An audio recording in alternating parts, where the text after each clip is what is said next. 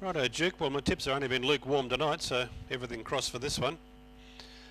Eidsvold uh, Cup Day on Saturday for people up in the North Burnett. Looking forward to getting up there and catching up with the locals at what's always a great day out, the Eidsvold Cup. It's on this Saturday. Track a good three at the moment, according to the curator and everything there, Mr. Murray. Green light. Ready. Set. Off now. Classy Barcy began well, but then sort of knuckled over. And Rich and Wild carved across and leads the way from Trav's Magic and Tay2. Or G getting tangled up there were Classy Barcy and Smart Spirit there right out of play.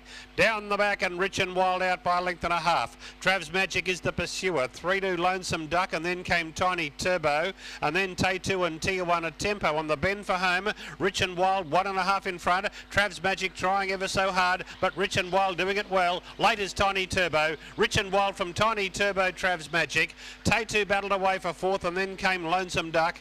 They were followed by Tijuana Tempo and the other pair got